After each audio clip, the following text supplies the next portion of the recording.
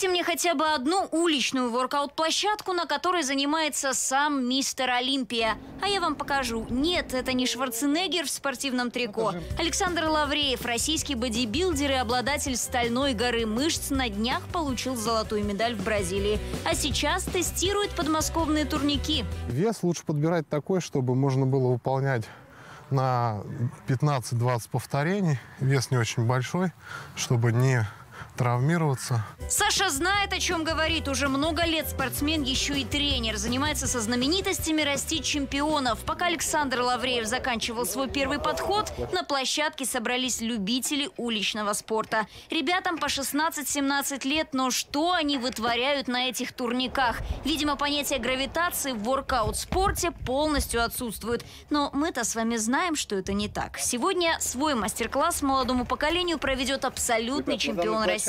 А потом, глядишь, и они его чему-нибудь научат. Ставим ноги пошире и начинаем приседать. Обратите внимание, как внимательно за терминатором наблюдают дети. Приседаем в полной амплитуде, низко.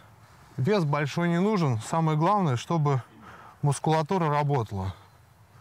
А если взять с собой на площадку спортивный инвентарь, то круг упражнений автоматически расширяется. Сегодня у наставника с собой петли. Которые привязываются вот такой перекладине. В принципе, на них можно тренироваться как на площадке, так и дома. Беремся за вот эти ручки, чуть-чуть отклоняемся назад и делаем тягу. А теперь меняемся местами. В роли учителя молодой воркаутер. Чемпион внимательно наблюдает. Смотрите, как легко парню дается элемент на турнике. Что на это скажет мистер Олимпия, у которого одна нога, как весь его оппонент? Не смогу. Сила притяжения. Сила притяжения, да. Так что делаем вывод, умение контролировать свое тело куда важнее силы и массы. Хотя на этой воркаут-зоне об этом знают все. Ее и еще четыре площадки построили по областной государственной программе «Спорт Подмосковье». Теперь в хорошую погоду здесь собираются все орехово-зуевские спортсмены. В основном, конечно, молодежь. Итак, финальный раунд. Состязания по жиму с участием чемпиона России. Егор, давай!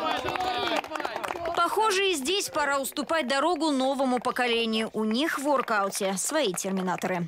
Людмила Александрова, Максим Графчиков, Елена Перова. Новости 360.